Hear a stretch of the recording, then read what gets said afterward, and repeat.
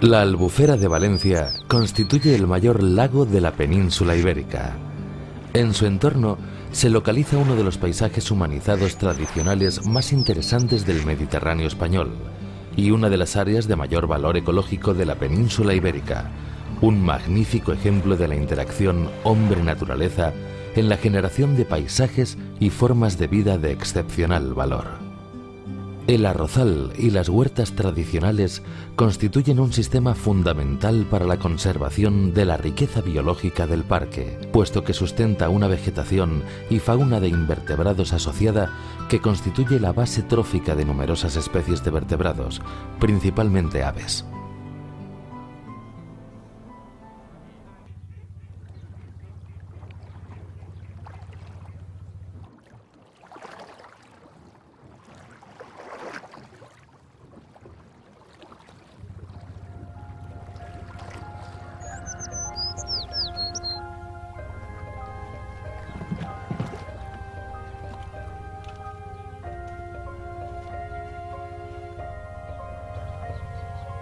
Una apuesta colectiva como la cooperativa del Perelló permite armonizar la protección del medio, la cultura local y el desarrollo económico. La puesta en valor de la cultura agraria ha supuesto un salto en el desarrollo de técnicas y del conocimiento científico.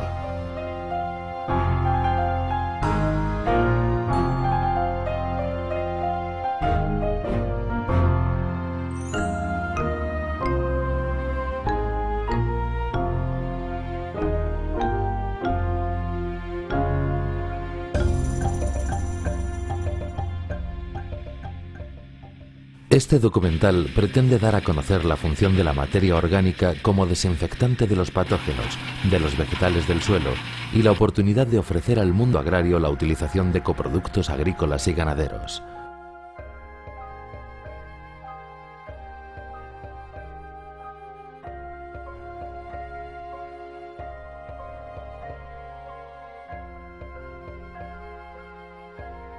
Estiércoles de distinto origen y restos de la agroindustria suponen una riqueza incalculable cuando vuelven a formar parte del suelo, mejorando las características físicas, químicas y biológicas, como abordamos en este documental, por su acción desinfectante selectiva.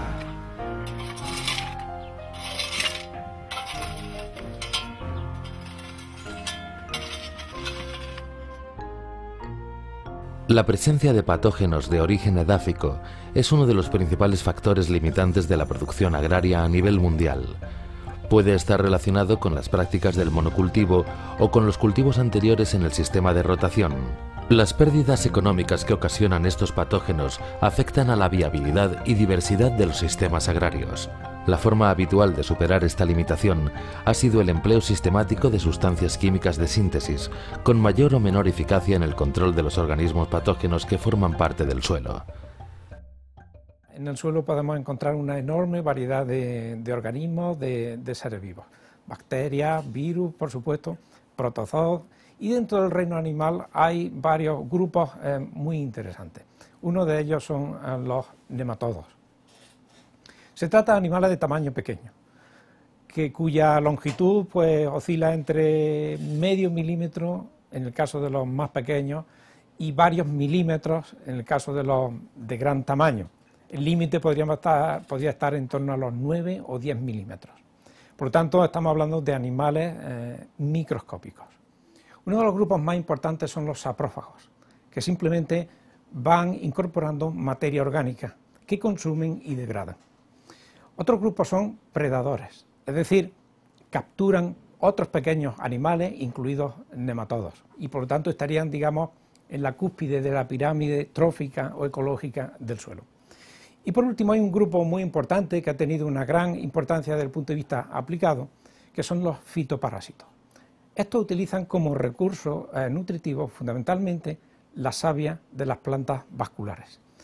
Su cavidad bucal está armada de un pequeños órganos punzantes que son capaces de perforar las cubiertas vegetales y extraer savia de las raíces.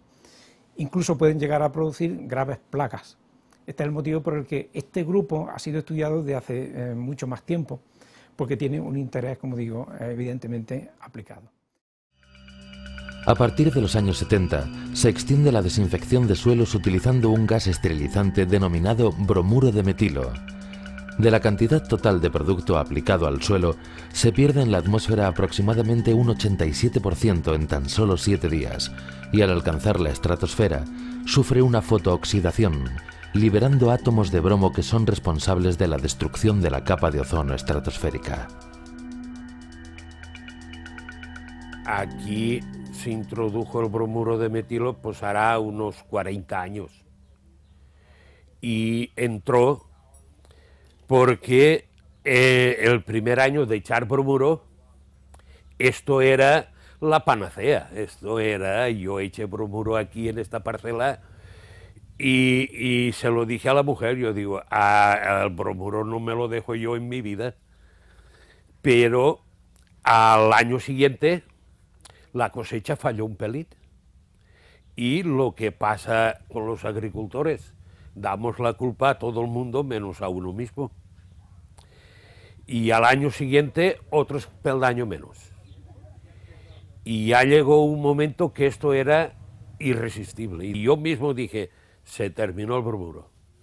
Voy a producir como me ha enseñado mi padre y como me ha enseñado mi abuelo.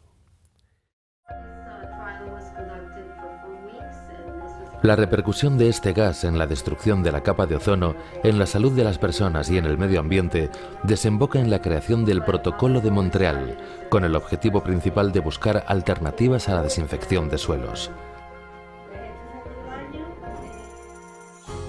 En España, la iniciativa de un agricultor que abandona el uso del bromuro de metilo y emplea prácticas agrícolas tradicionales favorece el desarrollo de la investigación en una técnica basada en la aplicación de la materia orgánica biodesinfectante de los patógenos del suelo.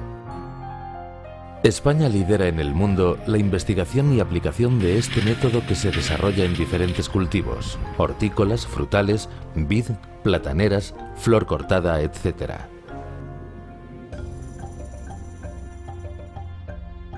¿Qué es la biodesinfección?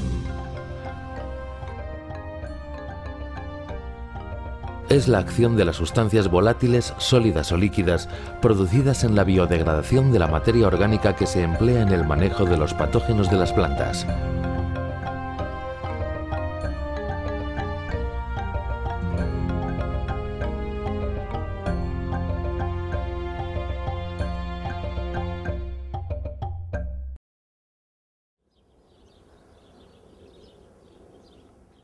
Se ha observado que la biodesinfección de suelos es eficaz en el manejo tanto de hongos, como de nematodos, como de bacterias, como de virus e incluso de la flora albense de los cultivos.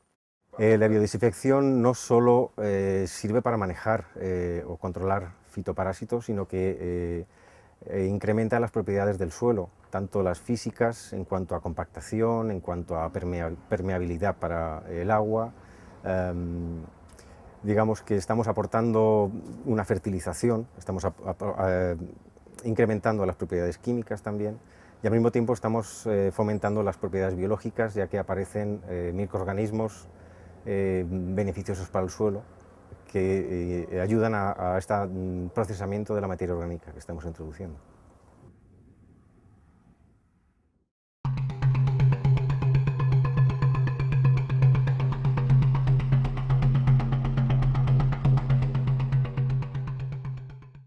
En principio se pretendía, como siempre, encontrar algo especial y una base científica novedosa, pero lo que hemos visto al observar los sistemas de que esto era formaba parte de la, cultura tradicional agraria eh, pues de, los, nuestros agricultores. Y entonces, pues lo que hemos visto son los gases de la descomposición de cualquier materia orgánica tiene función desinfectante si se sabe manejar, es decir, eh, retenerlos en el suelo, cuando hasta ahora se decía que era tóxico y entonces pues, se dejaban varios días sobre la superficie y entonces se pensaba que, que la materia orgánica tenía solo una función, que era una función química y nosotros introducimos un concepto más ecológico que es la eliminación selectiva de los organismos patógenos del suelo. Los nematodos del género Meloidogine, nematodos formadores de nódulos en las raíces de las plantas, constituyen uno de los principales factores limitantes en la producción mundial de los cultivos, especialmente hortícolas. A continuación mostramos los resultados que señalan el carácter selectivo de la biodesinfección. En este ensayo se estudió la respuesta en laboratorio de unas muestras de suelo infestadas por nematodos fitoparásitos, meloidogine, y donde están presentes otros nematodos, rabdítidos, que descomponen la materia orgánica, nematodos saprófagos, cuando se añaden vinazas de vino o vinazas de caña de azúcar en una concentración del 5%. La gráfica del control estudia una muestra a la que no han añadido vinazas y que actúa como referencia. Las gráficas 1 y 2 muestran el comportamiento de las dos poblaciones de nematodos a lo largo del tiempo cuando se le añade vinaza de vino o de caña de azúcar respectivamente.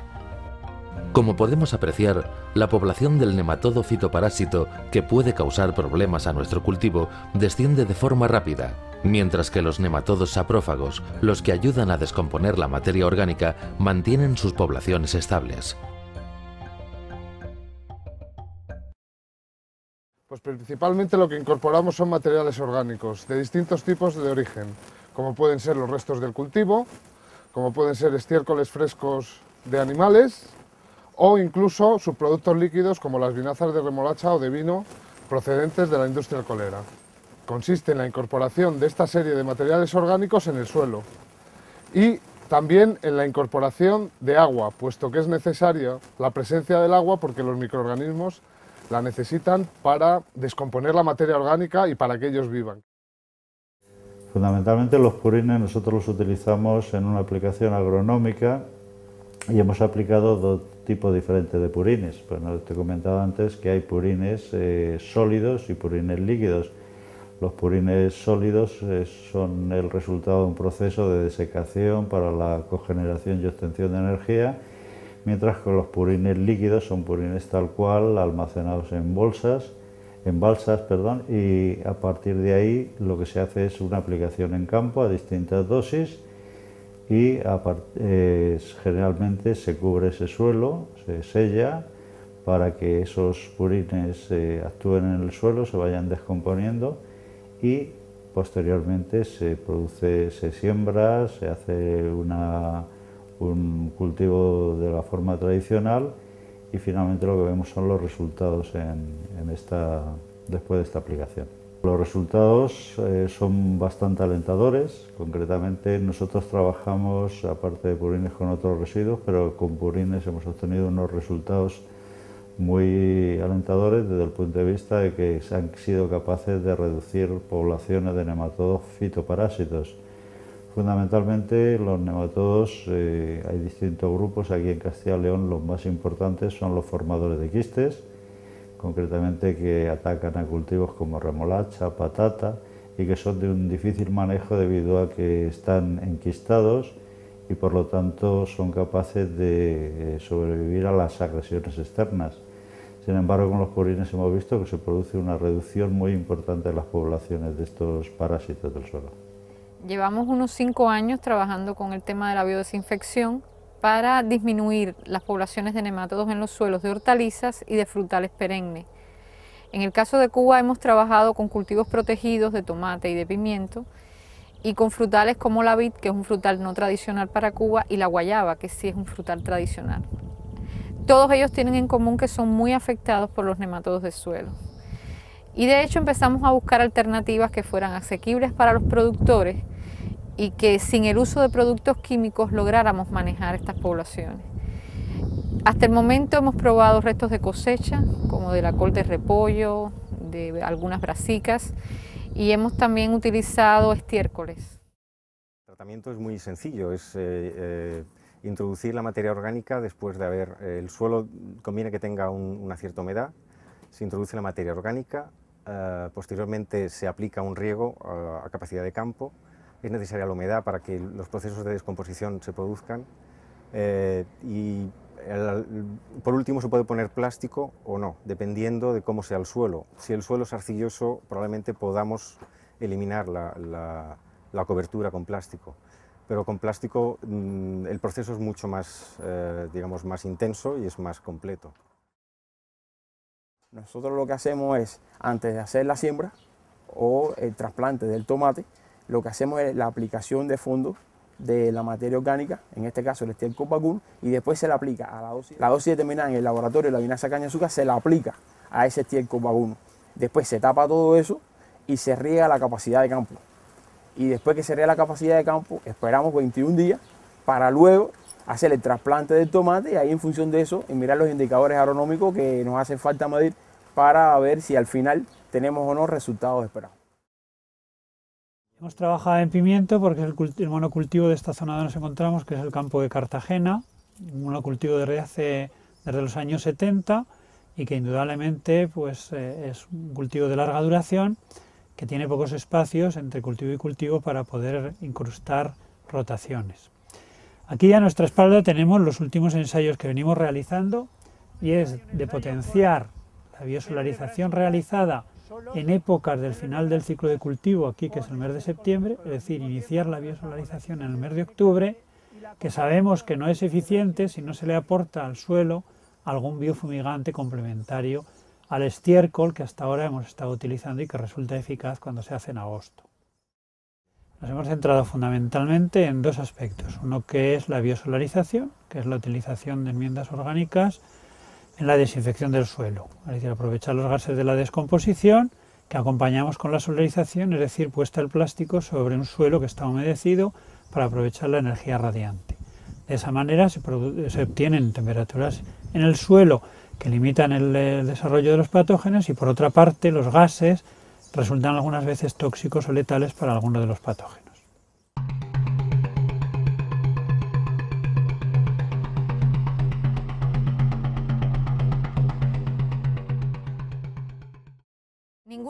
Por sí sola va a resolver el problema de las plagas ni de la nutrición de los cultivos.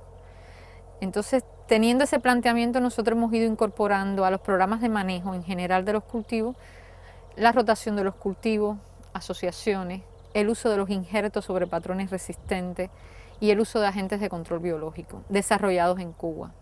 Porque también somos de la idea de que cada país debe utilizar su flora y fauna autóctona.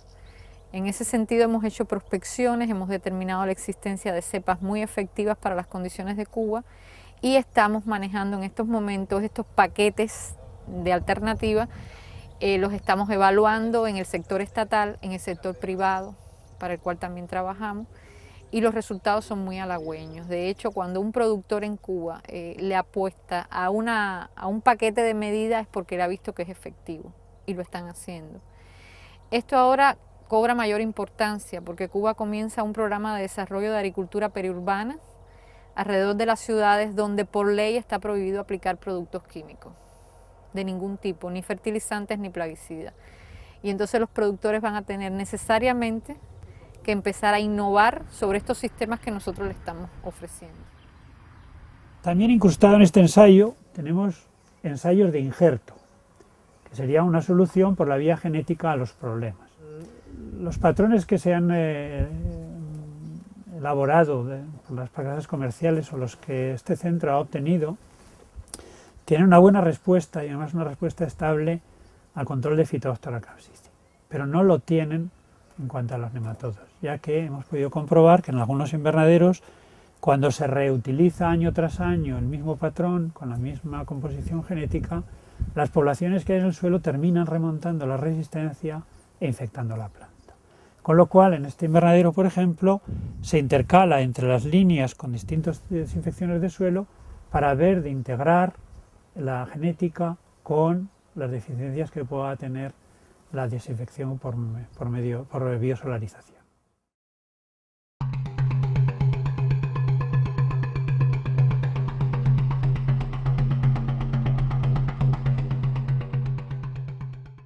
Proceso de biosolarización bien realizado supone la liberación de los elementos y puestos a disposición en forma disponible y asimilable para la planta, con lo cual la respuesta es inmediata.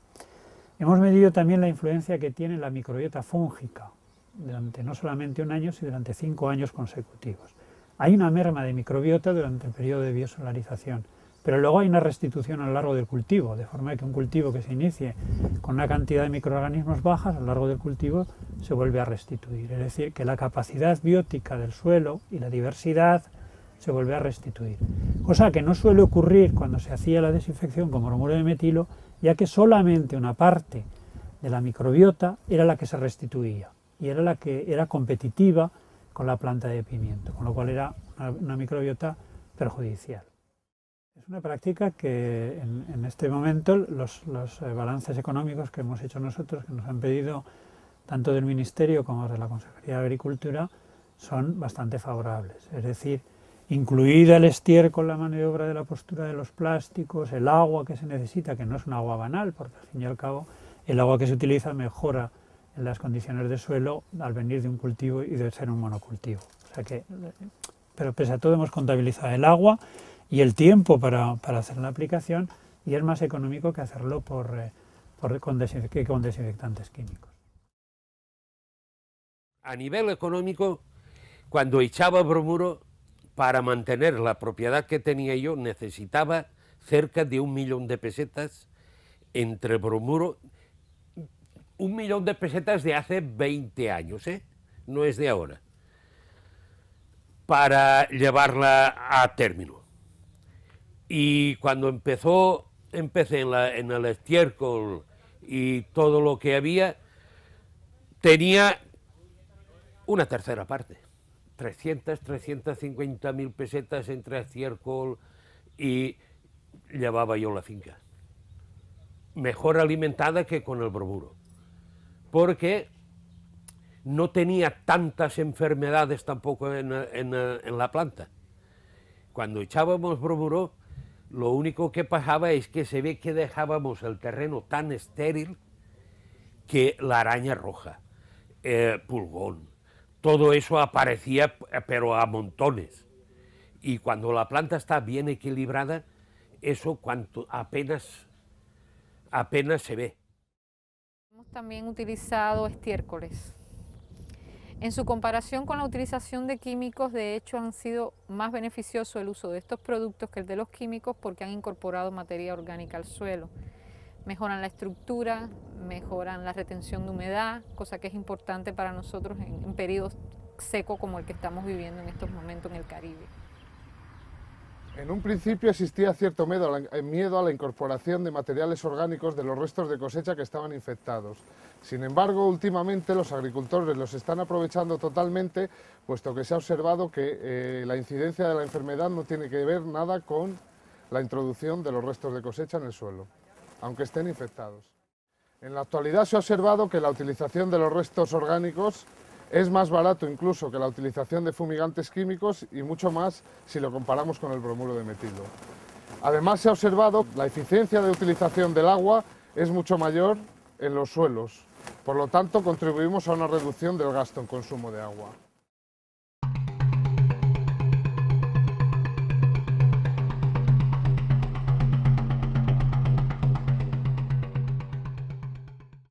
En los últimos años hemos vinculado a los productores precisamente a los equipos de investigación, porque no hay nadie que innove más que el propio productor, es el que le busca soluciones a sus problemas. Y nosotros quizás lo que buscamos es explicación a esas soluciones. el hecho es que estos equipos que te hablaba de trabajo son eh, de investigadores, profesores, estudiantes y productores. Tenemos talleres de intercambio, tenemos visitas de asistencia in situ y en los últimos tiempos, hace un año, por mandato estatal, o sea, ya no lo hacemos de manera espontánea como algunos de, grupos de investigación lo hacen, sino que por mandato estatal tenemos que hacerlo. O sea, la misión de los centros de investigación en estos momentos en Cuba es la transferencia, o sea, el desarrollo, la investigación, pero la transferencia también de tecnología al campo para buscar soluciones y lograr la seguridad alimentaria. El mes de julio haremos una reunión y una jornada técnica donde se les da el avance de los resultados que tenemos este año y se les da los resultados completos del año anterior. Y les preveemos también de cuáles van a ser los ensayos que vamos a hacer el año siguiente. De allí que pues, todo aquello que no resulte de utilidad o que consideren que no va a ser viable, pues no se ensaya ya, aunque tenga algunos resultados que a veces técnicamente pudieran tener algún interés. ¿De acuerdo? O sea que la, divulgación y la difusión es eh, total y directa. Nosotros, contrario a, otros lugares del mundo, vamos somos muy prácticos. Por tanto, lo primero que hacemos es cuando vas a ver al, agricultor, no lo vas a ver ni a su casa, ni lo citas a un lugar, ni, ni siquiera lo citamos a la universidad. Nosotros vamos a donde está el agricultor. Es decir, es una necesidad del, agricultor, pero también es una necesidad nuestra.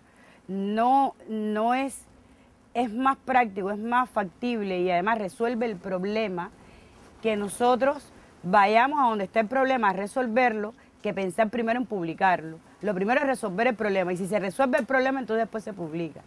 Papeles son papel y el papel aguanta todo lo que le ponga. Entonces nosotros preferimos ir al revés, resolver el problema a través de los problemas que tienen los agricultores. Por medio de la cooperativa y los técnicos hicimos un plan de trabajo y un plan de cultivos para hacer cultivos rotatorios, no, no hacer siempre el mismo cultivo, porque el hacer el mismo cultivo significaba echar muchos, mucha química al campo para desinfección del suelo. Antonio cuando empezó a venir aquí, venía todos los meses, porque yo tenía el campo infectado de nemátodos tirando bromuro, pero infectado. Uno de los análisis que sacó Antonio sacó 30.000 nemátodos con 100 centímetros cúbicos de arena, bueno, de tierra. Me dijo Antonio, ¿ahora qué vas a hacer, curro? yo digo, pues voy a echar estiércol y a regarlo. Pues ala, echa estiércol y al mes que viene volveré a, a ver el asunto. Y al mes siguiente vino, cogimos eh, puñados de arena a varias profundidades, a ver, y se lo llevó a Madrid. Y al día siguiente me llama dice, Curro, ¿qué has hecho hoy? Y digo, Antonio, ¿qué tengo que hacer yo? Echar el estiércol y pasar de retomato, que ya está 20 días el estiércol echado allí. Y me dijo, Curro, que tú me engañas. Yo digo, Antonio, que no, que no le engaño, yo no suelo engañar a nadie. Dice, pues no hagas nada, que vamos otra vez a ver si los hemos cogido la arena o el terreno mal, o... y volvieron.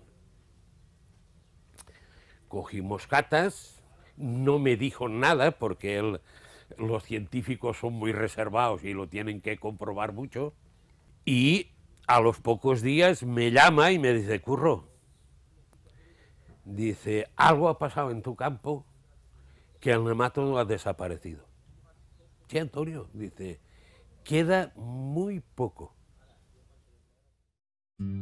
Para mí esto es un homenaje, venir aquí y oír a los agricultores que, repiten pues, con una base científica pues, los conceptos que hemos desarrollado pues, con 40 o 50 años de investigación sobre el manejo de la biodiversidad, diversidad del suelo y por presentándola como la, última, la única alternativa a, a los pesticidas, que era terrorífico, no solo desde el punto de vista ambiental, sino de la salud y sobre todo económica. Fíjate la cantidad de pepino, eso era impensable. ¿Te acuerdas? El tío del puro y del zapato de. Ah, que venía con el telón. Eh, no me acuerdo, era... No, era, era